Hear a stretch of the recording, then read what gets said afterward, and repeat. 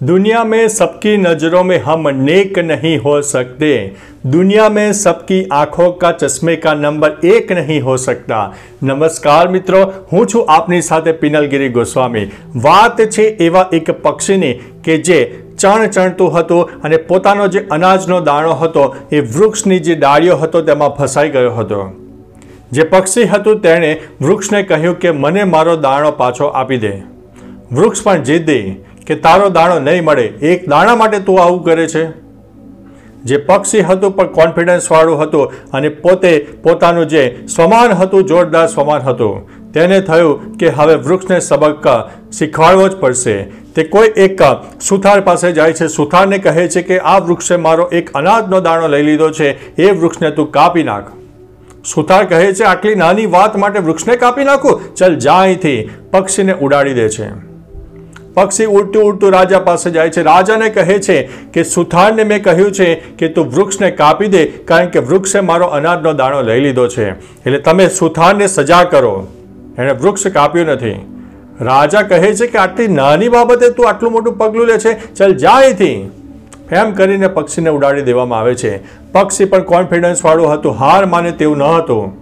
તે એક જે હાથી હોય છે, હાથીના મહાવત પાસે જાય છે અને કહે છે કે તમે રોજ રાજાને ફરવા માટે લઈ જાઓ છો, તો એ રાજાને ફરવા માટે જ્યારે પણ લઈ જાઓ ત્યારે રાજાને તમે નીચે પાડી દેજો, કારણ કે રાજાએ મારું કામ કર્યું નથી. રાજાએ સુથારને શિક્ષા કરવાની હતી, સુથારે ઝાડ કાપવાનું હતું, તે કોઈ કામ કર્યા નથી, એટલે રાજાને તમે પાડી દો અને રાજાને પણ એક સબક શીખવાડો.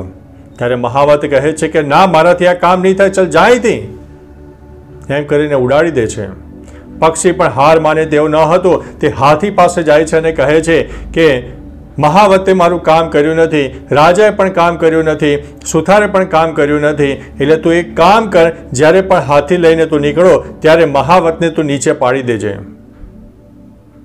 હાથી પણ ગુસ્સે થઈ જાય છે અને કહે છે કે, ચલ જા, આટલા નાના કામ માટે તો આટલું મોટું પગલું ઉપાડે છે. ચલ, જા અહીંથી. એ પક્ષીને ઉડાડી દે છે. પક્ષી પણ હાર માને તેવું ન હતું. પછી એ પક્ષી કીડી પાસે જાય છે. કીડીને કહે છે કે, વૃક્ષે મારો દાણો લીધો, પાછો આપતી નથી. સુથાર વૃક્ષને કાપતું નથી. રાજા સુથાને સજા કરતા નથી. મહાવત રાજાને નીચે પાડતો નથી. હાથી મહાવતને પણ પાડતો નથી. તો હાથીને કહે અથવા તો તેના કાનમાં ચટકો પર અને તેને નુકસાન પહોંચાડ. કારણ કે કોઈ મારી વાત માનવા તૈયાર નથી. કીડી પણ જાણે કે ગુસ્સે થઈ જતી હોય અને કહે છે કે આટલા નાના કામ માટે તું આટલું મોટું પગલું ઉપાડે છે. ચલ જા અહીંથી. ત્યારે પક્ષી કહે છે કે તમે બધા આ રીતે મને ઇન્સલ્ટ કરી રહ્યા છો. જો તું મારું કામ નહીં કરે ને, તો હું તને ચાંચની અંદર દબાવી દઈશ અને મારી નાખીશ. એટલે કીડી તો પોતે ગભરાઈ જાય છે. અને રાજાને જે હાથી હોય છે, હાથીને નુકસાન પહોંચાડવા પહોંચી જાય છે. એ સંદેશો મહાવતને મળે છે, રાજાને મળે છે, અને સુથારને મળે છે, અને બધા ડરી જાય છે, અને સુથાર અંતે એક કહી શકાય કે ઝાડ કાપવા માટે તૈયાર થઈ જાય છે. અને જ્યારે ઝાડ કાપવા માટે જાય છે, ત્યારે વૃક્ષ પણ ડબી, ડરી જાય છે કે આજે મારું કહી શકાય કે મને કાપી નાખશે અને હું મૃત્યુ પામીશ. એના કરતાં દાણો આપી દેવો સારો. એટલે એમ કરીને તે જે અનાજનો દાણો હોય છે, તે પાછો આપી દે છે. એટલે મિત્રો કહેવાય છે ને, તમારો કોન્ફિડન્સ હોય, તમારી જીદ હોય, સાચી જીદ હોય, તો તમે ગમે તેટલા નાના હોય, મોટા હોય, તમારા કામ નીકળી જશે. જીવનમાં હંમેશા આગળ આવવું હોય ને, તો એક પોતાનો કોન્ફિડન્સ હોય, પોતાનો એક ગોલ હોય કે મારે આ વસ્તુ કરવી છે કરવી છે ને કરવી છે, તો શક્ય એટલું વસ્તુ એ થશે થશે ને થશે જ.